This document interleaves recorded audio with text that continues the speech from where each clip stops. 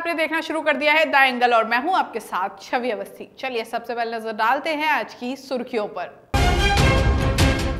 स्वास्थ्य मंत्रालय ने कोविड 19 को लेकर की प्रेस वार्ता कहा, भारत में छियासी फ़ीसदी कोरोना केस सिर्फ़ 10 राज्यों तक सीमित। कांग्रेस आलाकमान का बड़ा फैसला, बागी सचिन पायलट पर गिरी गाज उप मुख्यमंत्री और प्रदेश अध्यक्ष पद से किया निष्कासित। डोटासरा बने पीसीसी चीफ। मुख्यमंत्री अशोक गहलोत ने सियासी घटनाक्रम पर भाजपा को लिया अड़े हाथ। कहा, बीजेपी की चाल समझ चुकी जनता। छह महीने से चल रहा था षड्यंत्र। राजस्थान के घटनाक्रम को लेकर भाजपा ने की प्रेस वार्ता प्रदेश अध्यक्ष सतीश पूनिया बोले, कांग्रेस की विदाई का समय आ गया है। देश में कोरोना की स्थिति को लेकर प्रेस वार्ता आयोजित की गई। केंद्रीय स्वास्थ्य मंत्रालय, गृह मंत्रालय और आईसीएमआर ने संयुक्त रूप से प्रेस वार्ता की। इस दौरान देश में कोरोना की स्थिति पर प्रकाश डाला गया और कोरोना जाँच संबंधी जानकारी दी गई। स्वास्थ्य मंत्रालय की ओर से राजेश भूषण ने कहा कि भारत में कोरोना वायरस नियंत्रण की स्थिति काफ़ी बेहतर है। उन्होंने कहा कि देश में कोरोना के कुल मामलों में से छियासी फ़ीसदी सिर्फ़ दस राज्यों तक सीमित है। इनमें से दो राज्य महाराष्ट्र और तमिलनाडु में पचास फ़ीसदी मामले हैं। प्रेस वार्ता में कहा गया कि देश में कोरोना से ठीक होने वाले लोगों की संख्या बढ़ गई है।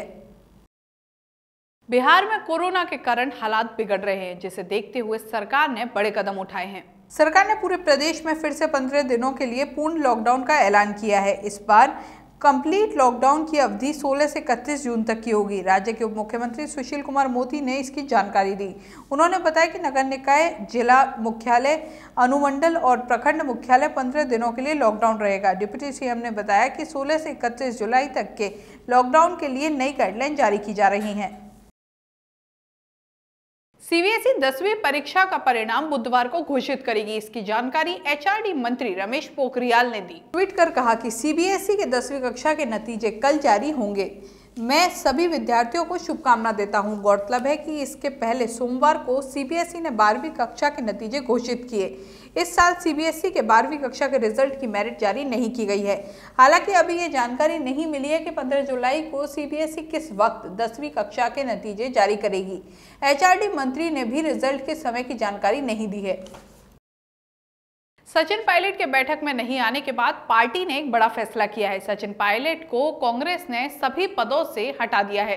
राजस्थान की अशोक गहलोत सरकार में उप मुख्यमंत्री रहे पायलट के प्रदेश कांग्रेस अध्यक्ष का जिम्मा भी ले लिया गया है। कांग्रेस के कई नेताओं ने पायलट को मनाने की बहुत कोशिश की, मगर वो नहीं माने, जिसके बाद कांग्रेस आलाकमान ने ये फैसला किया।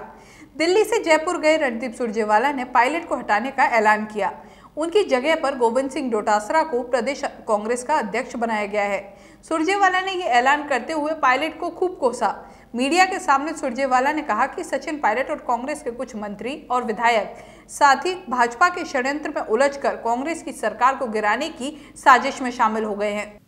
पहली बात श्री सचिन पायलट जी को श्री विश्वेंद्र सिंह जी को और मीना जी और, और श्री रमेश मीना जी को उप मुख्यमंत्री और मंत्री पद के भार से फौरी तौर से मुक्त किया जाता है।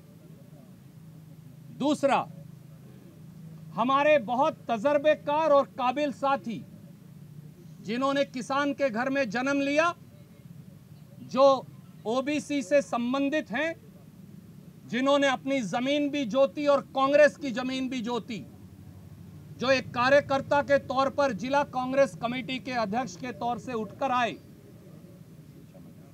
और आज राजस्थान की शिक्षा मंत्री के तौर पर सेवा कर रहे हैं। गोविंद सिंह दोतासरा जी को राजस्थान प्रदेश कांग्रेस कमेटी का नया अध्यक्ष बनाया जाता है।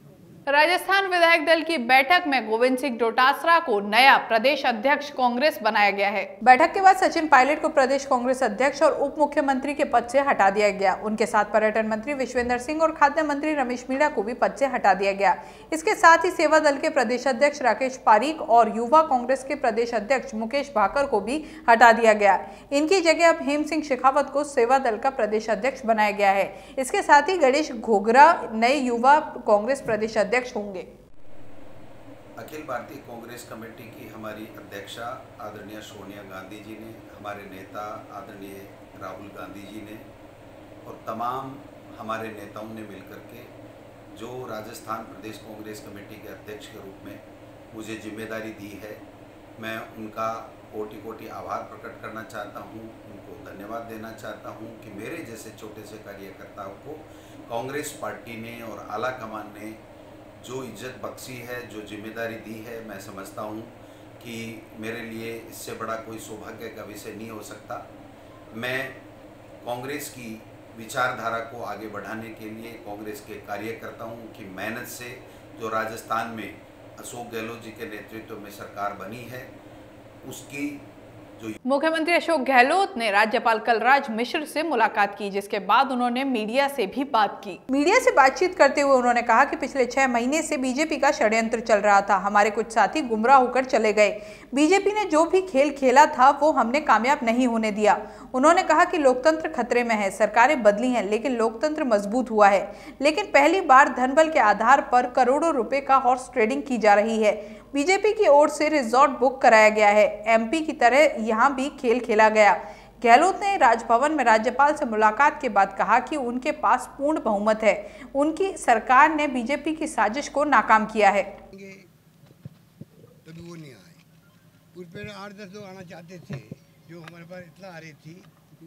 उनके लिए सब पुलिस का इंतज़ाम है। और ये कोई प्रदेश कांग्रेस के अध्यक्ष जो हमारे पहले थे पायलट साहब उनके हाथ में कुछ नहीं वहाँ पर। वो तो खुद ही वहाँ पे पूरी कुनबा जो है, वो बीजेपी के हाथों में खेल रहे हैं। बीजेपी की व्यवस्था है रिसोर्ट की व्यवस्था बीजेपी की है, मैनेजमेंट बीजेपी का है। जो लोग मैनेजमेंट के लिए बाहर से आए हैं, वो जो मध्य प्रदेश के वक्त कर रहे थे वही मैनेजमेंट अब कर रहे हैं वो लोग। वही टीम वहाँ पर लग गई है, क्योंकि उनका पहले अनुभव हो गया। इस रूप में वहाँ पर पूरा खेल चल रहा गहलोत साहब क्या तो आप सोच सकते हैं ऐसे खेल के अंदर आखिर में सरकार के सामने चारा क्या है? सरकार को गुड गवर्नेंस दे रही है। जो हमने वादा किया जनता से वादे निभाए या इन झगड़ों में पड़े रहे। राजस्थान की सियासत में आए बदलाव के बाद अब मंत्रिमंडल विस्तार के कयास भी तेज हो गए हैं। राजस्थान सरकार का मंत्रिमंडल विस्तार 16 जुलाई को होगा। ये कार्यक्रम शाम साढ़े चार बजे राजभवन में होगा। मंत्रिमंडल में इस समय आठ जगह खाली हैं। कयास लगाए जा रहे हैं कि इस मंत्रिमंडल विस्तार में दो उप मुख्यमंत्री बनाए जा सकते हैं। इसके अलावा मंत्रिपरिषद में राजेंद्र गुड़ा, नरेंद्र बुडानिया, महेंद्रजीत मालवीय, खिलाड़ी बैरवा, महादेव खंडेला, रामकेश मीणा, शकुंतला रावत, संयम लोढ़ा और महेश जोशी को मंत्रिमंडल में जगह मिल सकती है। कांग्रेस में चल रहे सियासी संग्राम के बीच बीजेपी ने भी आज प्रेस वार्ता की। इस दौरान नेता प्रतिपक्ष गुलाब चंद कटारिया ने कहा कि कांग्रेस में फूट साफ़ तौर पर देखी जा सकती है।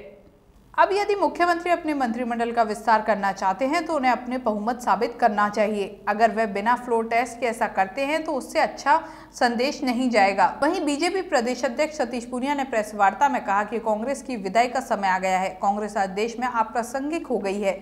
राजस्थान बड़ा प्रदेश था। पीसीसी चीफ होने के कारण सचिन पायलट का हक था, वरिष्ठ नेताओं की उपेक्षा हुई है। वहीं राजेंद्र राठौड़ ने कहा कि राजस्थान में आबादी के बाद सबसे बड़ा विघटन हुआ है। अब राजस्थान में कांग्रेस टुकड़ा टुकड़ा हो गई है। अशोक जी गहलोत की अब आखिरी चाल ये रहेगी अशोक जी का जो नोटिस उप मुख्यमंत्री जी को दिया है, उस नोटिस के माध्यम से उन्हें गिरफ़्तार करके उन्हें उनका, उनको और अपमानित करने का षड्यंत्र, उनका आखिरी षड्यंत्र होगा।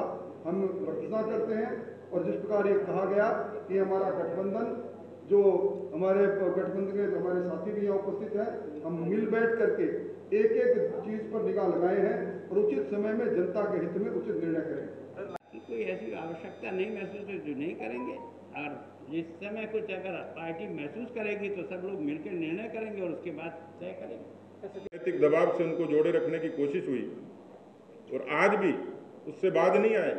आपने देखा होगा अभी बीटीपी के विधायकों का वीडियो उन पर पिछले कई दिनों से पहरा है। और सब लोगों की, हम लोगों की, अपने खुद के लोगों की जासूसी, फ़ोन टैपिंग, ये तो आदत में ही है। लेकिन वो अपने क्षेत्र में जा रहे थे, पुलिस ने बदसलूकी की, उनके दो दो मंत्री उनके पीछे तक गए, उन्होंने कहा, हम अपने क्षेत्र में जाएँगे, हम स्वच्छंद हैं। हमारी पार्टी अलग है, हम तो तटस्थ हैं। राष्ट्रीय अध्यक्ष का पत्र भी दिखाया आज अभी उन्होंने वीडियो जारी किया।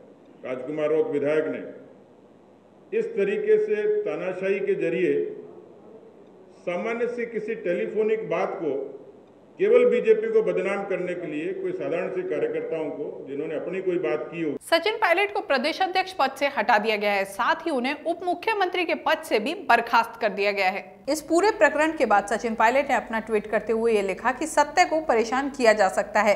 पराजित नहीं। सचिन पायलट ने अपने ट्विटर अकाउंट से उप मुख्यमंत्री पद और राजस्थान कांग्रेस अध्यक्ष की जगह टॉक से विधायक और पूर्व मंत्री कर दिया।